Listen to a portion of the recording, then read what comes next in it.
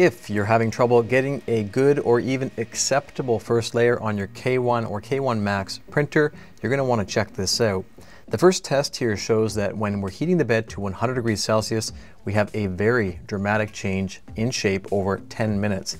But how much exactly? Let's put a dial indicator on it to find out. We can see that we go all the way to 28 thousandths of an inch, which is 0.71 millimeters. But then if we wait another 10 minutes at that temperature, the bed drops back down to 21 thousandths of an inch or 0.53 millimeters. To make sure that we get the best possible first layer, we need to preheat the bed for at least 10 minutes to the temperature that we're going to be printing at and then run the probing calibration. The stock probe sequence from the touchscreen is only set to 50 degrees Celsius. Instead, try to preheat and calibrate from Creality Print or Fluidd or Mainsail. And if you want to know more, check out the full length video. Take care everybody, and we will see you on the next one.